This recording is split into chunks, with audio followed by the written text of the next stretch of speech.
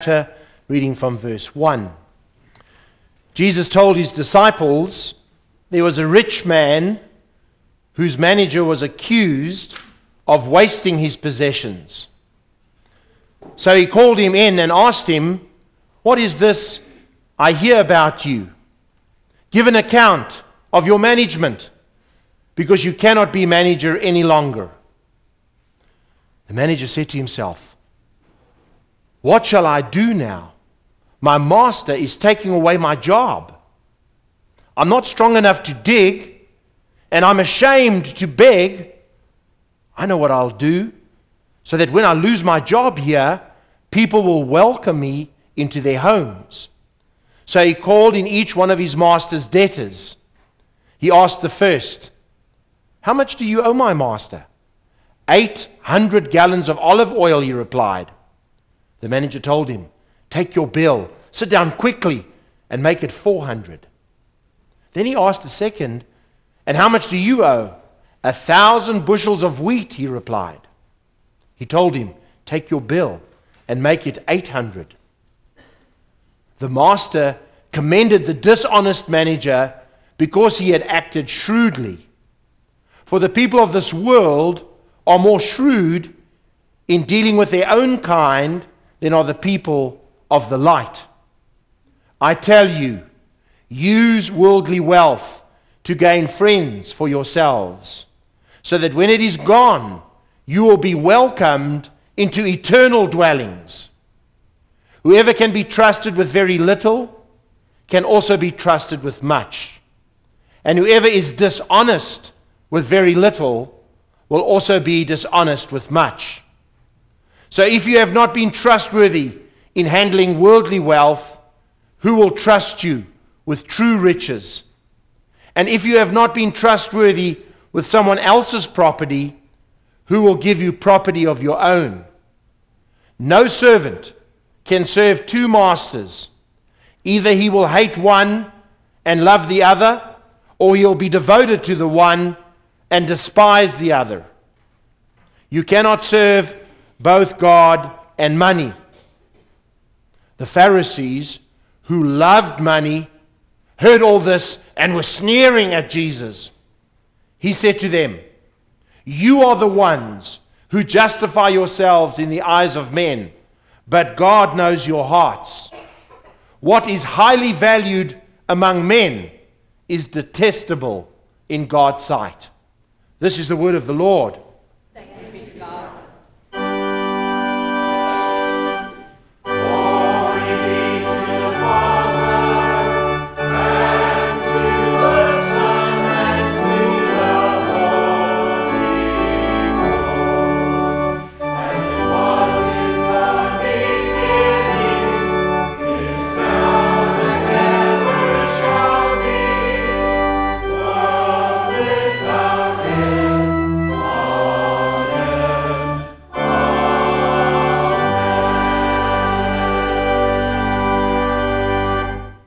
You may be seated.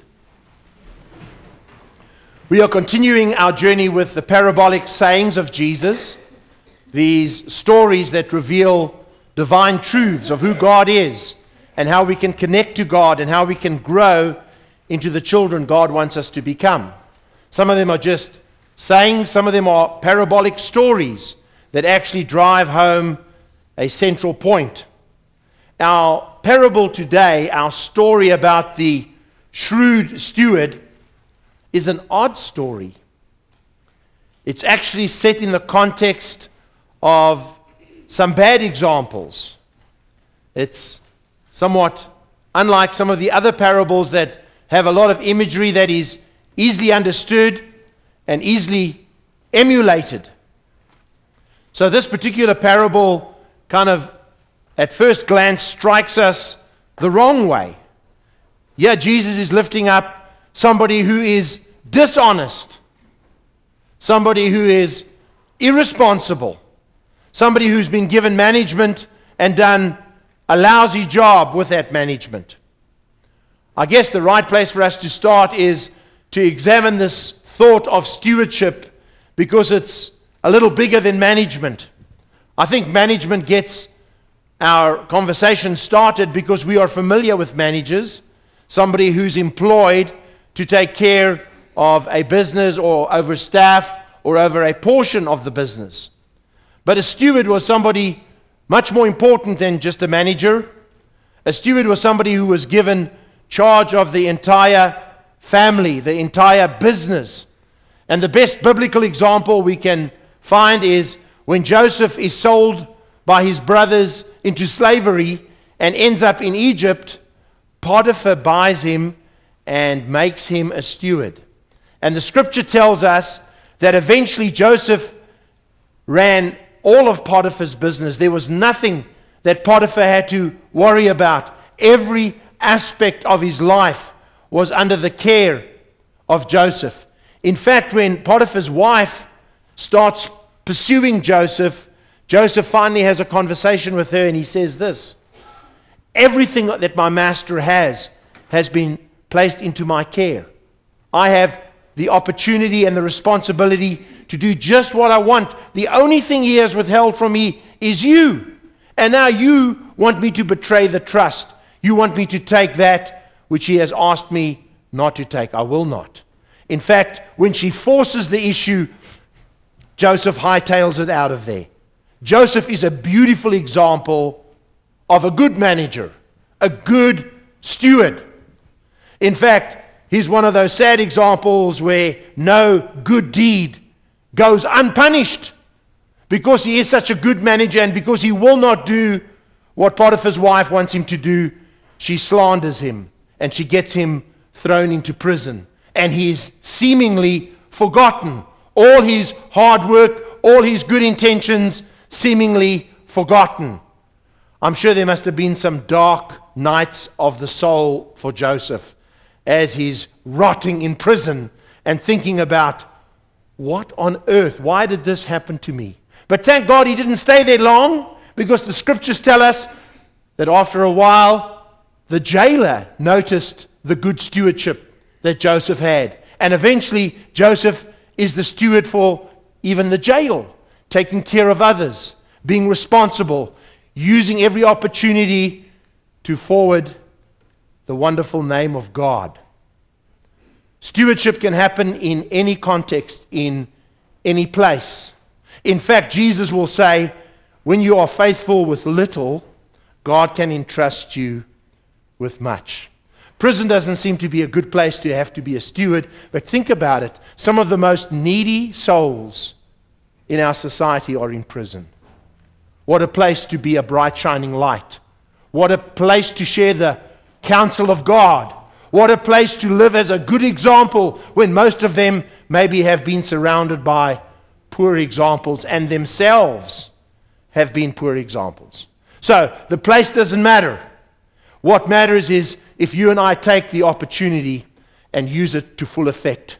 Stewardship involves your time, your most precious commodity, your time, your talents, whatever skills God has given you, and your treasures, those resources that God has placed at your disposal. In our text today, we've got a manager who has wasted what the master has placed in his care. Wasted his time, wasted his talents, wasted his treasures. I'm not sure what that looked like. We can explore that for a moment. What does wasting mean? Well, maybe on first glance, it just means doing a bad job, a lousy job. Not showing up to work on time. Not doing what you were asked to do. Not looking out for the interests of the business, or in this case, the household. A steward would take care of every aspect of life together, making sure everybody had what everybody needed. So maybe at first glance, wasting means somebody that's irresponsible, somebody that's careless, somebody that does a poor job. But maybe it gets even worse than that. Maybe wasting means misappropriating. Rather than doing what the master expected, he's kind of siphoning off and padding his own account, looking out for his own interests. Rather than do what benefits his master, he's got his own selfish interests going at the same time, double dipping, not doing a good job as far as looking out for the interests of his master, maybe embezzling. Or maybe wasting means rather than helping matters, he's hurting matters. Maybe the staff are all tangled up.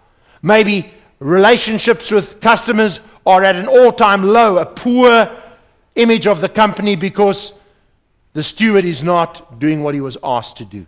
I'm not sure what all was involved, but the word came back to the owner, to the master. Your steward is wasting. And so immediately called him in and said, You better give an account because you no longer have a job. And the text then takes us to this place where he's now in a predicament. He says, I'm too weak or maybe too old to go out in the field and dig, be a, a construction worker or a farmhand, and I'm too ashamed to have to go and beg. So, what am I going to do? Think, think, think. Ah, I know what I'm going to do. I'm going to use my dishonest skills to at least open some doors of opportunity for me in the future. Call in the debtors. Tell me how much you owe. We'll give you a little bit of a break here. We'll give you a bit of a discount. So that when the time comes that I'm fired, I'm going to come back and I'm going to call in a couple of favors. I at least want you to be friendly and helpful toward me. And I'm going to remind you of what I did for you and say, and now, what can you do for me? And Jesus says, I want you to take note of the shrewd way this steward, this manager, looked to his future. The central point, the nail that Jesus is trying to drive home, is that often people in the world, often for bad motives, are shrewd, are cunning, are clever. And the challenge is are you thoughtful, shrewd, cunning, clever when it comes to God and to God's business? Do you think about who God is and what He's done for you? Do you think about the opportunities He's given you? Are you willing to take your time, talents, and treasures and use them for the kingdom advantage? And Jesus goes on to say, This opportunity to use worldly wealth will create friendships, will create relationships that you can use that will impact eternity. Because here's the sad truth you and I come into this world naked and we're going to leave just the same way.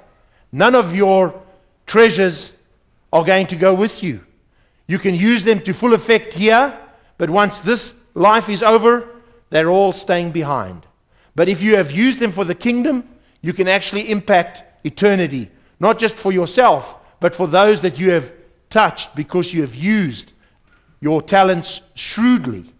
This guy was thinking about his future, and so he started creating friendships or acquaintances or contacts to try and make sure his future looked a little brighter.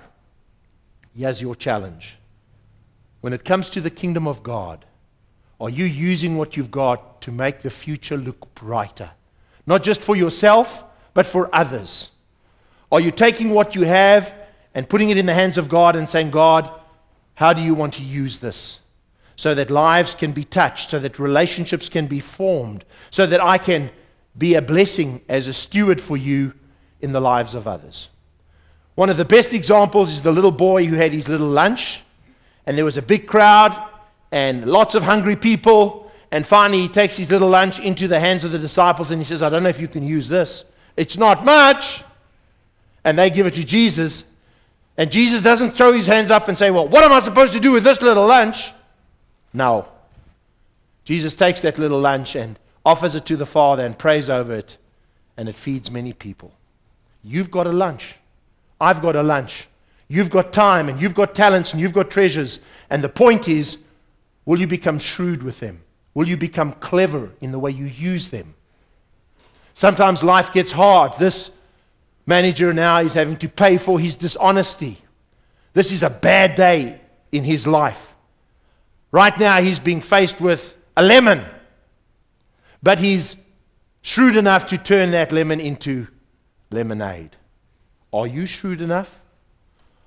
Are you willing to take whatever you're facing and prayerfully put it before God and say, God, how do you want to use this? I've really been thinking a lot this past week about sickness. We've got a lot of sickness around us, a lot of terminal sickness, a lot of people suffering, a lot of people getting ready to die. There's bad news.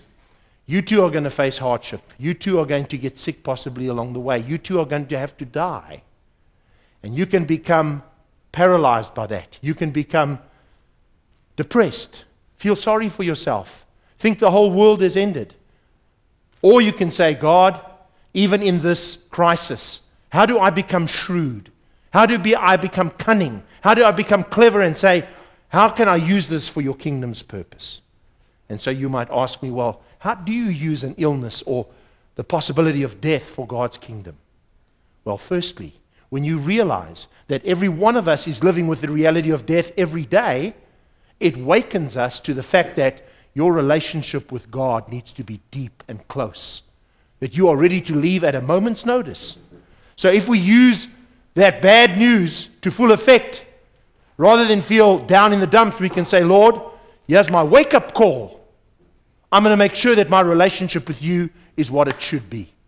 And maybe there's some unfinished business with loved ones, friends.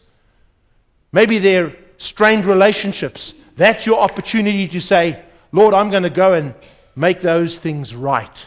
I'm going to make sure that I've mended the fence. I'm going to make sure that we're on good terms with each other. I'm going to make sure that I do everything I can with what I have. I see people who have just a few months left and they're trying their very best to get everything in order. You know why? Because they're taking the lemon and they're going to make lemonade out of it. They're not going to stop. They're not going to give up. They're not going to throw their hands up in the air and say, Why is this happening to me? And what am I supposed to do? No. It's hard. It's disappointing. But we take that to Jesus and say, And how are we going to handle this one, Lord? And He can take you deeper and grow you stronger, and He can make you more effective. I think that's the whole point. That to be shrewd, to be cunning, to be clever, is to understand that your life before God is of great consequence, and each of us must make the very most of what lies ahead. And then he goes on to deal with the Pharisees, because it's interesting that the observation from Luke is that the Pharisees love money. And when they hear Jesus talk about stewardship, they are irritated. They are sneering at him. And Jesus doesn't back off and say, Sorry, guys, I didn't mean to offend you. No. He deals with maybe what is a stronghold in everybody's life. You're either living for God or you're living for yourself. You're either a good steward and cunning and clever about the kingdom, or you're out trying to make another deal, another dollar. You're all focused on yourself. You can either serve God or mammon or money. And money represents all the things we want in life. That's why money is so powerful, because we attach all our hopes and all our dreams and all our efforts to it. We become absorbed by it. And Jesus is dealing with the Pharisees at this stage, but he's dealing with all of us. Very quickly, we can lose our sense of stewardship with God and be in this for ourselves, just like this dishonest manager was. Yeah, it's a bad example, but it's a good example because we're all guilty of it. It doesn't take much for us to forget that there's a God who's entrusted everything into our care, that everything we have is His. The earth is the Lord's and the fullness thereof. The very opening charge, instruction that God gave Adam and Eve was to, to be stewards over the earth. Be fruitful and multiply and have dominion. Be stewards over all I've given you. We're not in this for ourselves. God is taking care of us.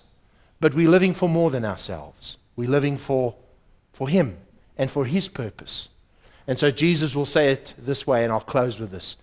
Don't lay up for yourselves treasures on earth, but lay up for yourselves treasures in heaven. Be sure to be a good steward for God and God's purpose. Make sure you take what you've got and use it to full effect. God wants you to be shrewd cunning, clever when it comes to living for the kingdom. Let us pray. Lord, forgive us for being careless, or worse yet, selfish, or worse yet, dishonest, stealing, wheeling and dealing like this dishonest manager. Help us to be a good steward like Joseph was, where Potiphar could entrust everything he had in his hands and knew he was in good hands. May our hands be good hands. May our stewardship be shrewd and cunning and clever for the kingdom. May you be well pleased with us, so that when we pass from this life into the next, we will hear you say, Well done, good and faithful steward. Amen.